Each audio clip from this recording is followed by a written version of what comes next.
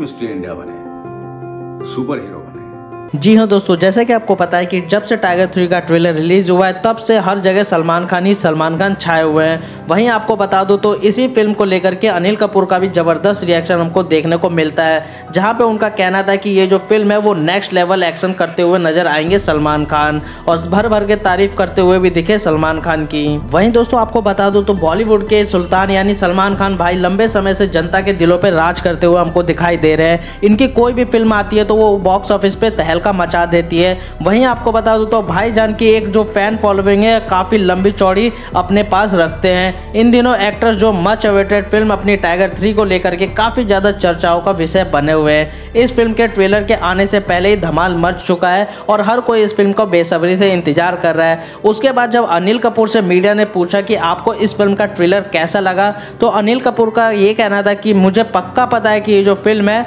वो हिट जाएगी। और वैसे मैंने भी सलमान खान के साथ सारी फ़िल्में की है तो मुझे पता है कि सलमान खान की जो एक्टिंग है, वो लोगों के दिलों पर राज ज़रूर करेगी।